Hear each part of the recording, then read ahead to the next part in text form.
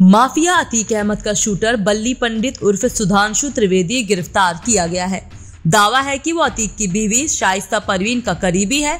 उमेश पर हत्याकांड के पाँच दिन पहले वो बल्ली के साथ नज़र आई थी। इसका सीसीटीवी फुटेज भी सामने आया था।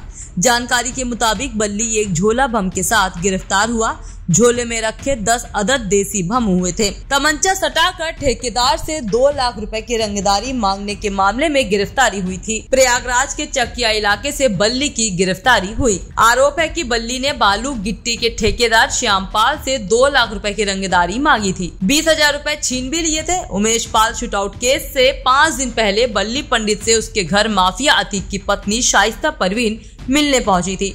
दोनों की मुलाकात का सीसीटीवी फुटेज भी शूट आउट के बाद सामने आया था। उमेश पाल हत्याकांड के हुए आज एक साल हो चुकी है, मगर हत्याकांड के बाद से फरार चल रही माफिया अतीक की पत्नी शाइस्ता परवीन को पुलिस अभी तक नहीं पकड़ पाई है। शाइस्ता को पकड़ने के लिए पुलिस ने कई जगह छापेमारी भी की, फिर भी उनके हाथ कुछ नहीं लगा।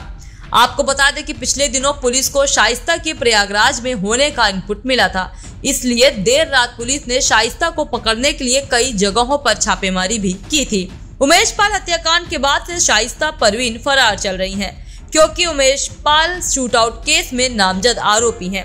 आखिरी बार शाइस्ता की प्रयागराज से सीसीटीवी फुटेज भी सामने आई थी, जिसमें उसके साथ गुड्डू मुस्लिम भी दिखाई दे रहा था। इसके बाद से जाँच एजेंसियाँ लगातार उसकी तलाश में छापेमारी कर रही हैं, लेकिन अभी तक उन्हें शाइस्ता की कोई भी जानकारी नहीं मिली है। जाँच एजेंसियों को ऐसी उम्मीद थी कि अतीक की हत्या के बाद से वो सरेंडर कर सकती है लेकिन ऐसा नहीं हुआ। पुलिस ने शाइस्ता पर पचास हज़ार का इनाम घोषित किया है।